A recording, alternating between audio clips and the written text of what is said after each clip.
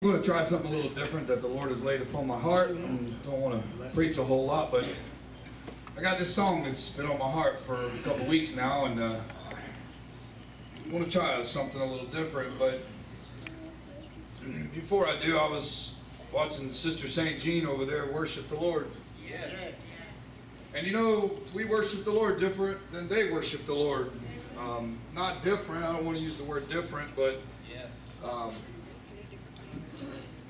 in America, we're spoiled in the story. We've never been in a major crisis to where most of us have lived without food. When 9/11 hit America back in I think it was what 2000 I guess it was 2001 whatever it was. America thought that they were over with. When they, the church, you know, was an influx there? We had four, a few more people come to church. It didn't influx like it should have influxed. Our pastor gave us wonderful messages on the coming of the Lord, and the Lord is coming back. I just want you to know that, whether you believe it or not.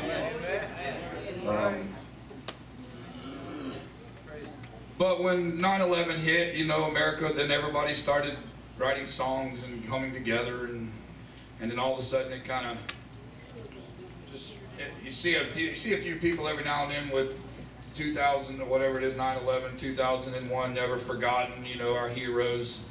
And I'm a patriotic person too. I served in the military. I'm way patriotic as a matter of fact. But I was watching them sing and, and this sister if I'm not mistaken she was in a earthquake, earthquake. in her country. I've never been in an earthquake. I've never had to really beg for God's mercy in that situation. I've had to beg for God's mercy in what I thought were tight situations because I was wondering where where God was in certain situations, but He was right there all the time. But as I've got to thinking about this, this song that's been on my heart for a couple of weeks come to me and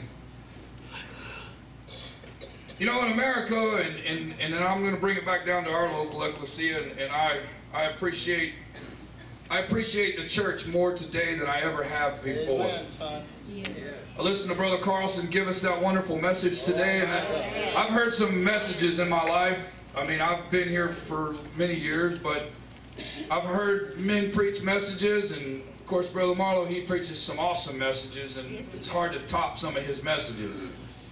But Brother Carlson really struck me today when he started talking about faith. Yes, sir. And he used the example of how you exercise.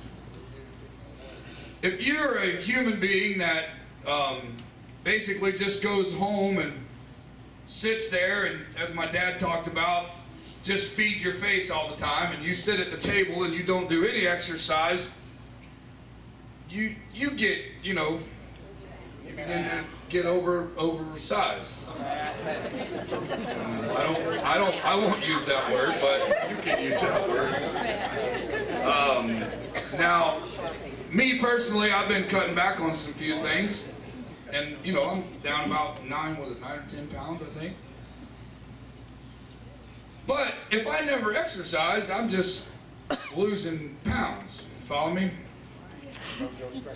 If you look at a weight a, a, a weightlifter and, and as he begins to lift weights, you see all the bodybuilding shows, how them guys get out there and yeah. they do all that stuff that they do, you know? how they do that. Well, Lou Ferrigno was one of them, wasn't he? Wasn't he? Big guy. But you see him today, he's big, but he's also got, he's fat. That fat is, that muscle is turned to fat. Because he quit what? Exercising it, didn't he? Yeah. He began, he quit using the ability that he had. Come on. Sister Betty, you was right by saying, could I be baptized? Is this the right time? Sure, it's the right time. Amen. Amen. Because you're exercising your faith. Yes. And when you're baptized here, you won't be baptized in the name of Bradenton Gospel Tabernacle. Whomever dunks you in that water will baptize you in the name of Jesus Christ. So you're exercising your faith. Never heard faith taught just like that in those few short words today. And it actually built my faith. Sure did.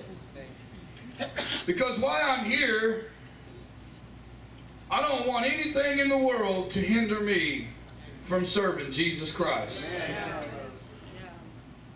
Brother Adolf, I appreciated what you had to say last night. Because you exercised your faith. How many times have you as an individual went home and said, I'm not happy with what was said tonight, so I'm packing my bags and I'm never coming back? I can't count them. I, I, can, I can't even count them on two hands and ten and ten toes, probably. But by the grace of God, we're still here. So I appreciate the Lord tonight, don't you? And I would, I want to try something here, Brother Langford and Brother Harrison and Brother Rhodes. Would you come help me? I, I know you, brethren, are going to go like, I cannot believe this guy, because I know all of these guys, and they're going to beat me up. Late. It's okay. I'm good. I can handle it. Brother Dean has a saying. He says, "I'm 44 across, and I can take it." So I can take it. But uh, if they would come help me, Brother Rhodes, yeah, you're you're one of them. So.